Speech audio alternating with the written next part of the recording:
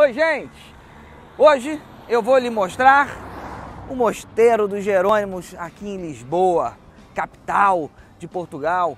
Esse espaço foi pensado para poder comemorar as grandes navegações. Estão enterrados aqui Vasco da Gama, grande navegador, Dom Manuel I, o rei que propiciou com que esses homens fossem daqui dessa terra até as Índias, até o Brasil, aqui também está Fernando Pessoa. Eu sou Tiago Gomide e você está aqui, muito bem acompanhado, não está na história.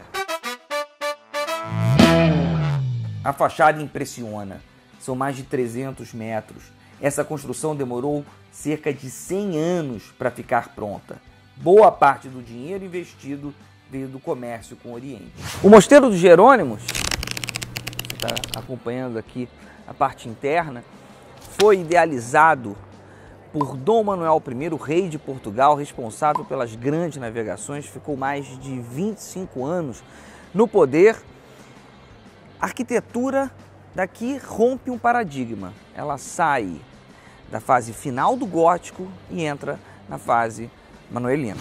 O estilo manuelino prosperou em uma época onde o crescimento da economia portuguesa deixou marcas em todo o território nacional. Apesar de um monte de turistas, esse espaço ainda é um canto de oração. Aqui, antes do que hoje conhecemos, ficava uma pequena igrejinha. Pedro Álvares Cabral, Vasco da Gama e muitos outros navegadores, antes de se aventurarem, tinham o costume de visitar para pedir proteção. O lugar de embarque era quase na frente.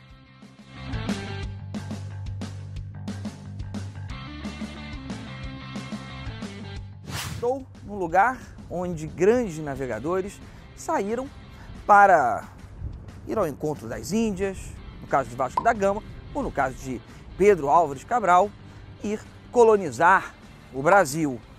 Aqui atrás tem um monumento em homenagem a esses homens. O monumento é o padrão dos descobrimentos, uma caravela que leva diversos protagonistas da era de ouro da expansão marítima portuguesa.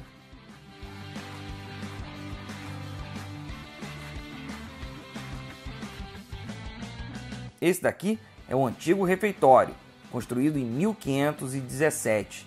As artes nos azulejos, marca portuguesa, mostram passagens da vida de São Jerônimo.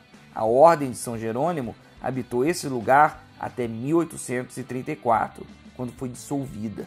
Os monges ficavam aqui rezando pela alma do rei e pelo sucesso dos navegadores.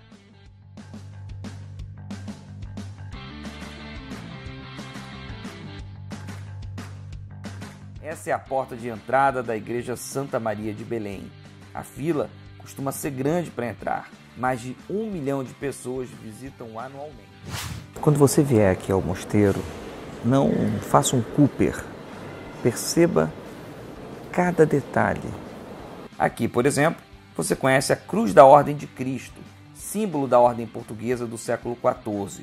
No altar, cenas da Paixão de Cristo e a adoração dos magos podem ser vistas.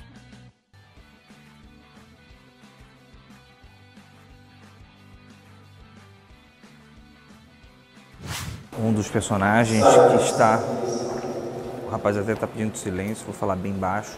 Um dos personagens que está enterrado aqui é Luís de Camões, poeta português, compôs Lusíadas, que trata das grandes navegações, dos desafios enfrentados pelos portugueses para alcançar as Índias e também para chegar até o Brasil.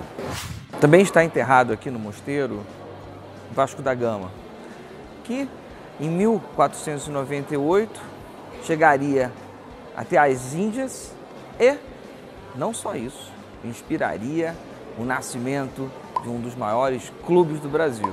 Ah, esqueci de dizer, não é que durante cerca de 20 anos os ossos guardados nesse sarcófago não eram do Vasco da Gama? Agora está certo. Ainda estão enterrados no Mosteiro dos Jerônimos, Dom Manuel I e o poeta Fernando Pessoa.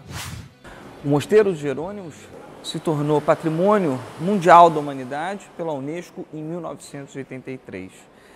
Vale muito, vale muito a sua visita.